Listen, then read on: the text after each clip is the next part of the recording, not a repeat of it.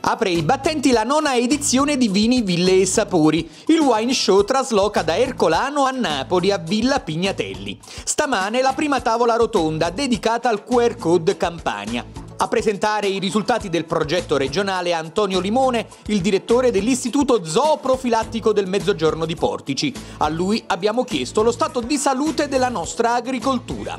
Noi su 3.500 esami che abbiamo effettuato rispetto a circa 1.500 aziende che hanno aderito al progetto QR Code, quello del codice a barre aziende che si sono sottoposti agli esami per garantire la salubrità al cittadino al momento dell'acquisto, abbiamo avuto solo 6 non conformità. Quindi in realtà noi siamo di fronte a una regione che controlla i suoi prodotti, che ha circoscritto le aree a rischio dove la produzione non c'è più, quindi nei 15 ettari che il gruppo di lavoro ha immaginato non c'è una produzione che arriva sulle tavole dei cittadini e che controlla in modo serrato le attività produttive che invece sono in essere. Quindi diciamo che io credo che a livello italiano questa è una delle regioni che fa più controlli e garanzie maggiori per il consumatore. Viniville e Sapori proseguirà fino a sabato 28 con degustazioni, laboratori, dibattiti aperti al pubblico ed eventi dedicati agli operatori del settore.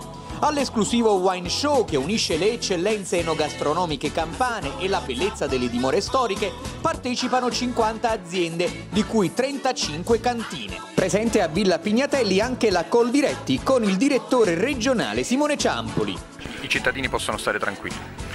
Beh, ovviamente eh, la tranquillità è senz'altro eh, va, va, scelta, va misurata, va valutata, ovviamente eh, eh, alla luce anche delle tante piraterie, le agropiraterie, tanta roba che oggi purtroppo viene spacciata anche come falsamente, made in Italy e quant'altro, è ovvio che è sempre bene leggere un'etichetta, sempre bene accertarsi, sempre bene cercare di capire la serietà anche dell'azienda e dei produttori che ci stanno dietro, eh, eh perché ovviamente anche questo può essere un discrimine, però complessivamente la stragrande maggioranza delle aziende serie che saranno anche presenti in Expo eh, questo lo potranno garantire. L'evento è stato patrocinato dal Padiglione Italia dell'Expo di Milano 2015.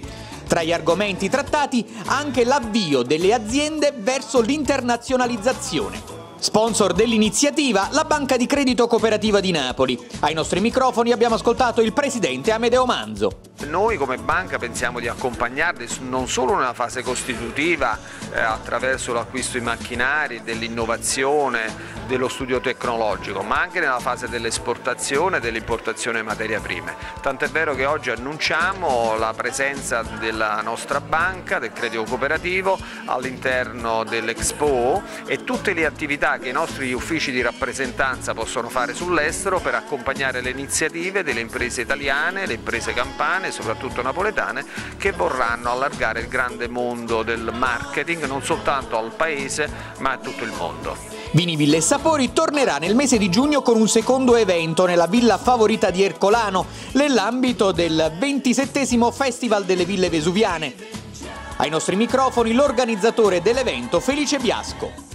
L'evento quest'anno gode del patrocinio di, del Padiglione Italia di Expo 2015, ma è importante che questo, abbiamo ottenuto questo riconoscimento soprattutto a difesa delle produzioni campane. Non ci importa tanto, non è tanto importante il patrocinio quanto è importante il ruolo che cercheremo di giocare nel produrre, nel proporre le nostre aziende eh, su una vetrina internazionale di grande prestigio.